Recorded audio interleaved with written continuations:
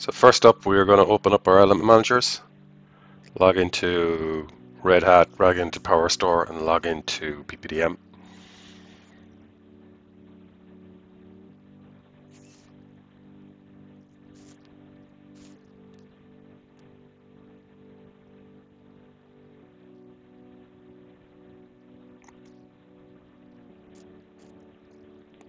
As you can see here is our file system storage, Red Hat. So let's go deploy, create a simple project, very straightforward. Give it a name, PPD de PPDM demo.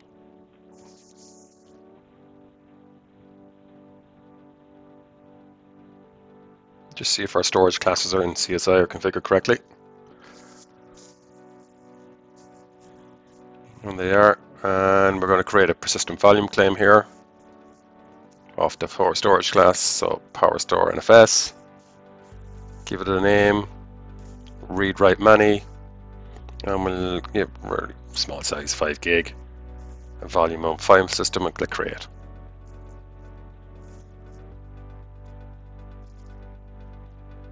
So here we go. Bound. So we set this to automatically bind without attaching it to a pod.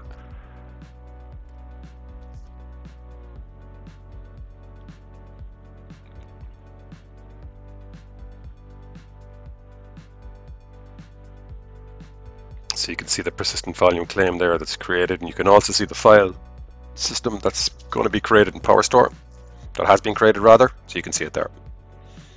So CSI via API is provisioned the volume, and we have 5 gig of free space.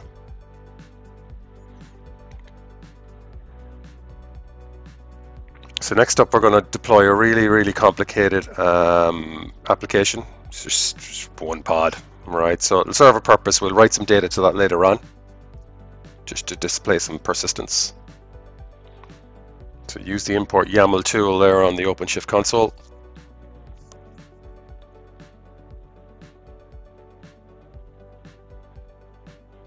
And container creating, and it's up and running.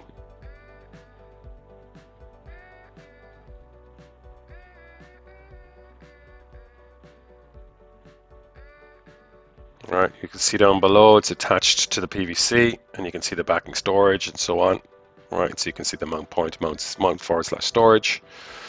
So next up we'll add um, PPDM to, uh, to OpenShift, or OpenShift to PPDM rather as an asset source.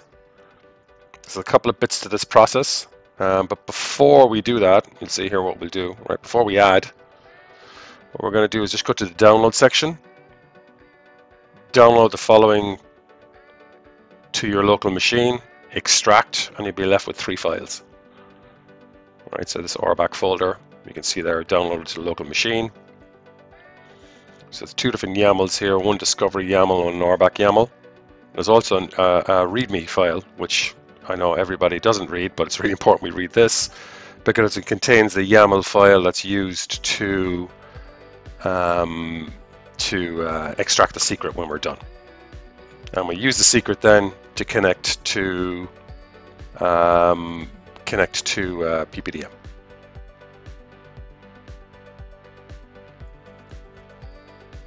All right, so copy to PPDM to the clipboard. Go back into our OpenShift YAML editor again. Couldn't be simpler. Copy paste. If I can do this, right? Trust me, anybody can. Paste the contents in, click create.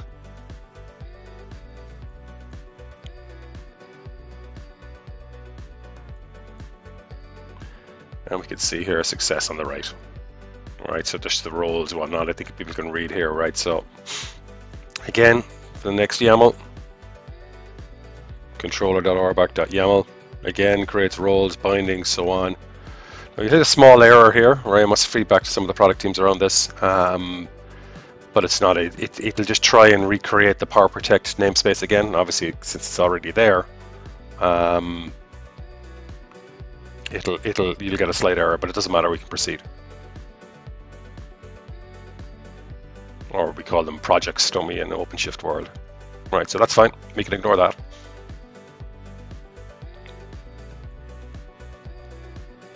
So next up again, embedded in the README file, right, with a big red arrow, right? Um, just copy and paste. I'm going to redact the end of file at the end because that'll error out. But straight into the straight into the import YAML file or YAML editor in when in OpenShift. Copy paste, and now it's generated the service account token. We'll scroll down to the bottom and copy and paste the uh, token or copy the token. Right, back into PPDM. Now we can add it as an source proper. So click add, give it a name. I've called it OC11 here for my cluster. Give it the API address, redact the HTTP header, port 6443. Let's create the credential, give it any name, and then here we paste in the token we've just extracted from OpenShift. Click Save. And verify the certificate. Accept. And now it'll kick off the discovery process. This will take a couple of minutes or a couple of seconds. So the configuration job will have to kick off and it starts pulling the available namespaces or projects in OpenShift um, in OpenShift uh, as part of the discovery process. So here you can see after a couple of minutes, and we can do our search. Let's go search for the namespace or project that we have configured or created, and you can see it there, right? So it's it's it's not protected at the moment; it's in an unprotected state. Okay, so next up is let's create a protection policy for this namespace. Again, very straightforward.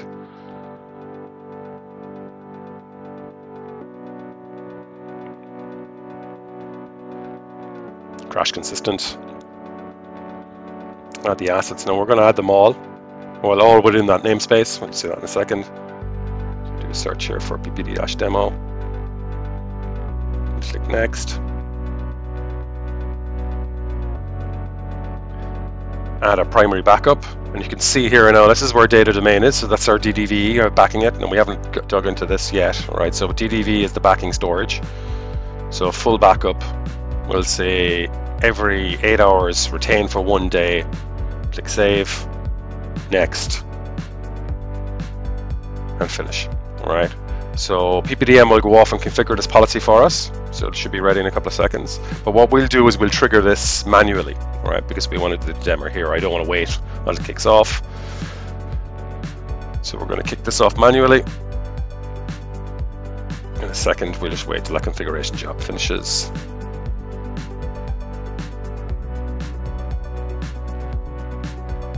Yep, so now we can protect now.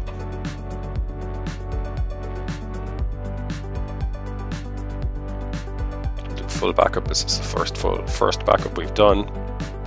Protect.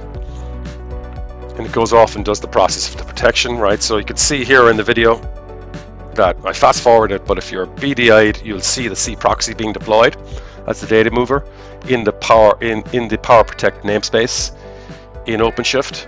And then when it's finished, it deletes or pulls back down that pod, the data mover pod, transparent, transparent to the user. All right, so you can see here the process here on the right of what's gone through. So now we have OpenShift connected to our PPD, uh, OpenShift as an asset source in PPDM, uh, and we've created a namespace. We've done a demo. We've done a demo pod application, right? But so let's put something in the application and fail it over.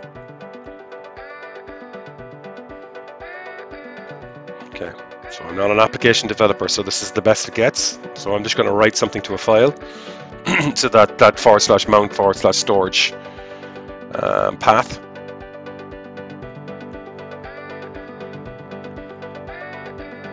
All right, we've saved that. And we're going to run the job again because this has got a new, this got there's a change to the copy or change the file rather. So we're just going to run another another manual backup. Again, we could wait for the eight hours until whenever kicked it off, but we'll do this quickly here. We'll run the job.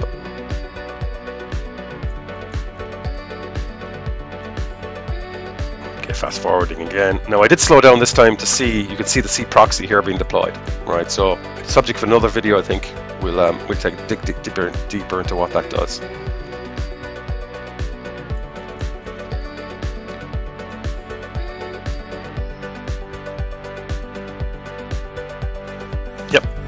All right, so uh, error, right? So what happens if we accidentally delete the OpenShift namespace? All right, so luckily we have a backup to the rescue, right? So it happens, so sometimes it could happen or we could lose everything or we could just inadvertently delete the namespace. So here we're just going to delete the namespace or delete the project. I keep on saying project, right? So delete the project, and this will pull down everything, right? It'll, obviously, it'll pull down pods, it'll pull down the whole lot, everything associated with the with the project, including the PVC. If it pulls down the PVC, it'll also trigger the deletion of that file system on PowerStore, and we'll see that in a second. So we'll be left with nothing.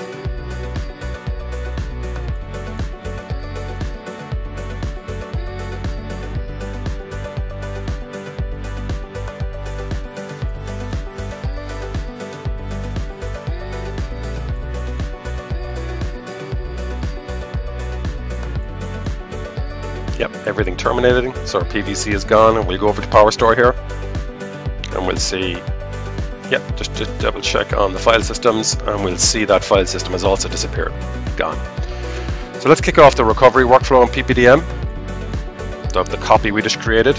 Again, we can just manually do this recovery. Very simple.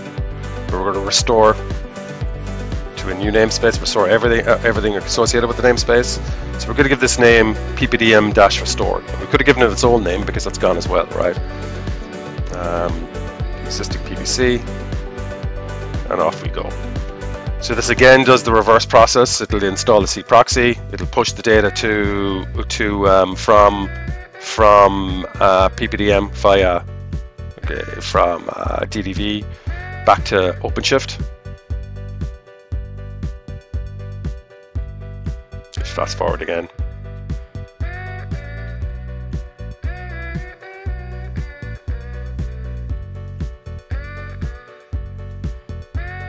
Let's log back into OpenShift and see what it's doing here.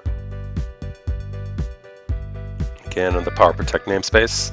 I'm gonna pull down here.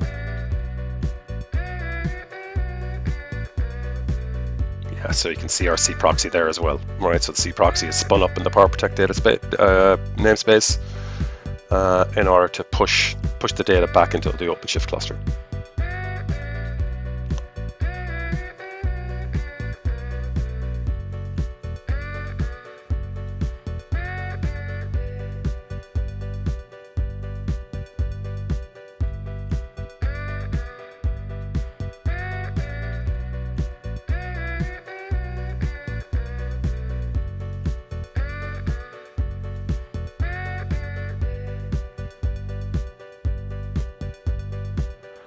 Alright, so cproxy has been deleted, pull back, so the data moved. So you can see here that it's uh, 100% successful, so everything should be back in that new namespace we've created, or project rather, we have created, so let's see if it works.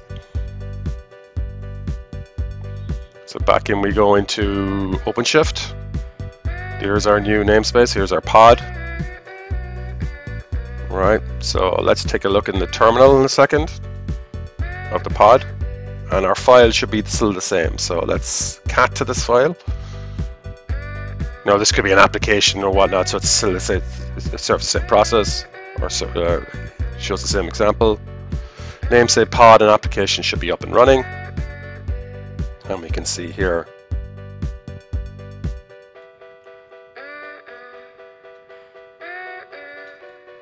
very slow typer, I gave it a very long name. And there we go. All good. So thanks for joining the uh, or listening to the video. Um, here's the next time.